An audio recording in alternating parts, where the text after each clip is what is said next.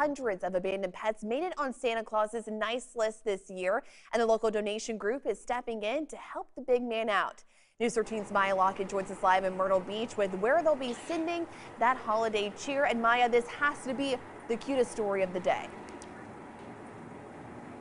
Such a cute story, Julie. Five Horry County shelters will be receiving warm gifts and treats this year thanks to a generous animal lover in Horry County who started a pet donation group on social media.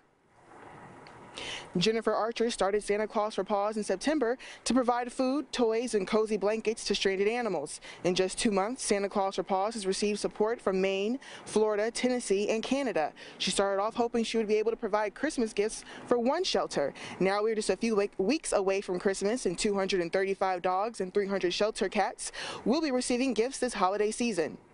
There's so many animals in the rescues and they struggle so much just to provide basic care. And we thought it's Christmas, so they should have toys and treats and fun things too. If you would like to check off a few things off of an animal's Christmas list this year, go ahead and type in Santa Claus for Paws on social media and find out different ways to give back to animals in need. Live in Myrtle Beach, Maya Lockett, News 13.